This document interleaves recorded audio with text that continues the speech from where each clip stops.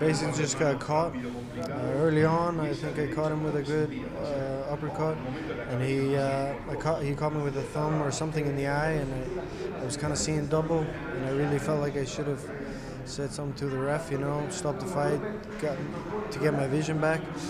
Uh, but I, I, didn't. I felt like maybe I had him on the run a little bit, and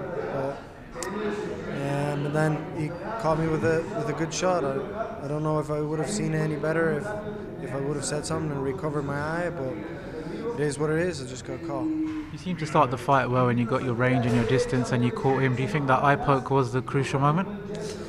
you know, I don't want to make excuses that it cost it. I don't, I don't know, but I, I definitely I am, I am, you know, a little bit disappointed in myself that I didn't stop it to, to get my vision back because I was seeing double. So um, maybe, maybe it did, you know, maybe it probably did, but I felt like I was in control of the situation and.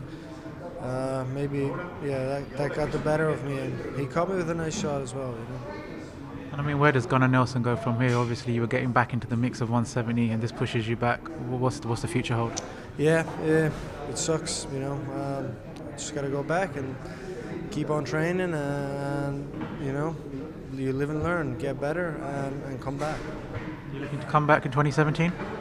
Um, yeah, we'll see. I'm, I'm gonna go back and um, spend some time with my family, my little boy, and um, but yeah, I'll definitely I'll be back.